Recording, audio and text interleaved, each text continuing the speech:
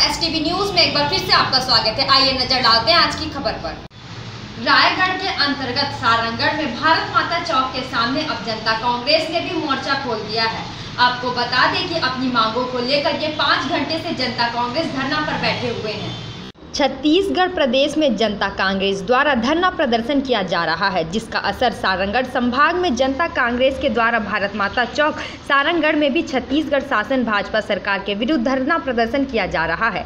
जनता कांग्रेस बारह सूत्री मांगों को जायजा बताते हुए समर्थन दिया और कहा कि हमारी जो बारह सूत्री मांगे हैं, उनको पूरी करें।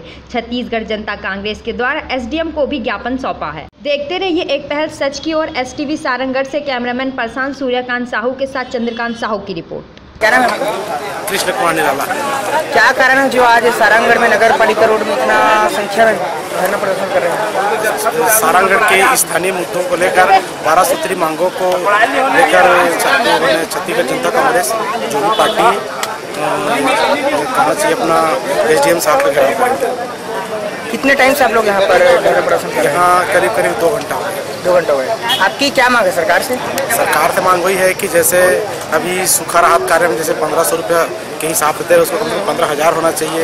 सौ बिस्तर का मांग हॉस्पिटल के लिए है। यही सब चीज़ मांगे हैं अभी तक कहाँ कहाँ आपने ऐसे मांग रखी है अपनी? अभी तो पहले सारंगढ़ में शुरू किए है। इसके लिए ज्ञापन सौंपे आपने? जी। इसके पास? एस डी एम साहब। को क्या आश्वासन मिला उससे? शासन में कुछ नहीं मिला है। क्या कहना है उनका? उनका भी कुछ नहीं अभी तो मुलाकात हुआ ही नहीं है वो। जब तक आपको आश्वासन नहीं दी जाएगी तब तक आप यहाँ पर धरना प्रदर्शन करते रहेंगे क्या? ऐसा नहीं है मतलब अपन ज्ञापन और आगे और देंगे अपना जो ये है। एस टी के माध्यम से क्या संदेश पहुँचाना चाहेंगे? शासन तक? शासन तक का ये कहना है कि हमारी जो मांग है उसकी पूरी होनी चाहिए।